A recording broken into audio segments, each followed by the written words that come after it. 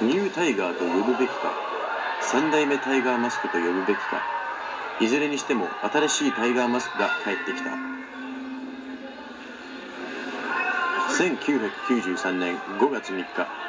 福岡ドームで正式デビュー。そのデビュー戦で獣人サンダーライガーを見事に破った。そのタイガースープレックスホールドはパーフェクトだった。そのタイガーにタッグマッチとはいえ獣人サンダーライガーが挑む。IWGP ジュニアヘビー級チャンピオンとしてライガーもこれ以上タイガーには負けられない。